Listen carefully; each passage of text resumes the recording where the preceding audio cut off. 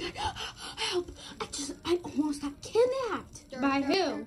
Uh, it was a man, and um, he he really smelled, and um, he was wearing a yellow jacket, and and he had gray pants,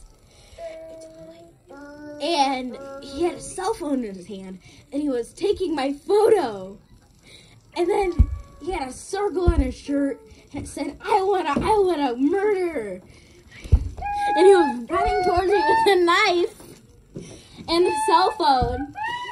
And then the cell phone made a big loud boom, and next thing you know, I was dead, or or I was sleeping or something, and I awoke, and there was this red thing, and it had two legs. It was big, and it had this glass thing on its head, and then it had this square on its back, and it was also holding a knife. And then it made it sound like this. Oh yeah, it did. What is that noise? No idea. it had this square on its back, and then it was holding a knife, and it was also holding a gun, and it almost shot me, but I made a run for it.